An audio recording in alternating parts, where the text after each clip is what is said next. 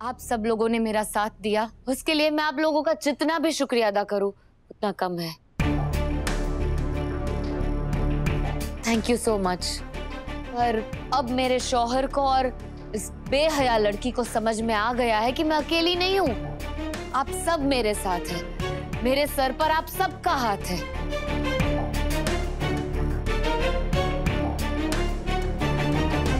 मेरे शौहर ने अपने किए पे माफ़ी भी मांगी है। और मुझसे वादा भी किया है कि वो आज के बाद इस बेहया लड़की के करीब भी नहीं जाएँगे। और इसके साथ कोई नाजायज रिश्ता भी नहीं रखेंगे।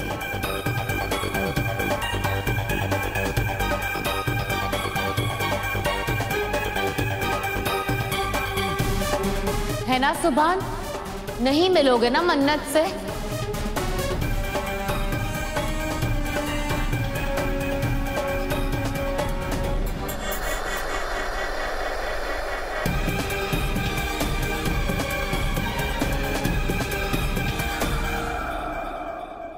मैं आप लोगों के जज्बात समझ सकती हूँ।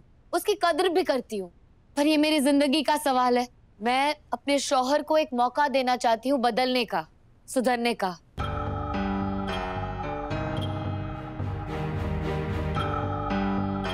इंस्पेक्टर साहब, मेरे एक बार कहने पे आप आ गए। थैंक यू सो मच आप इतना परेशान हुए उसके लिए सॉरी पर अब मेरे शोहर ने अपनी गलती मान ली है। अब इनको सजा देना ठीक नहीं रहेगा। अरे कोई बात नहीं मैडम जी। ये तो हमारा फ़र्ज़ था। वैसे भी अगर आपको कभी भी हमारी ज़रूरत हो तो कॉल कीजिएगा। हम हाजिर हो जाएँगे। थैंक यू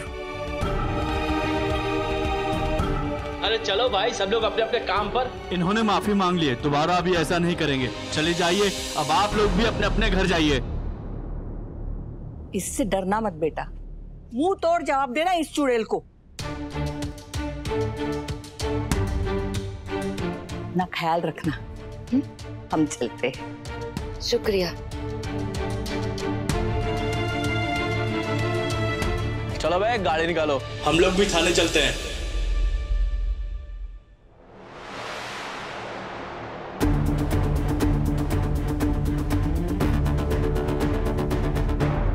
निकलो मेरे घर से। अभी के अभी निकल जाओ। बाजी। बाजी, आप हमें इस घर से कैसे निकाल सकती हैं? आपके सिवा हमारा है कौन? और तुम्हारा कोई बन भी कैसे सकता है? जब तुम्हारी खुराफाती बीवी जिस थाली में खाती है, उसी में छेद करती है और तुम उसकी हिमायत में लगे रहते हो तो कौन बनेगा तुम्हारा अपना?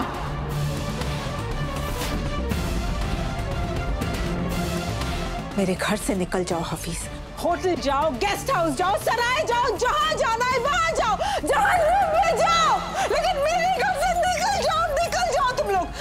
लेकिन मेरे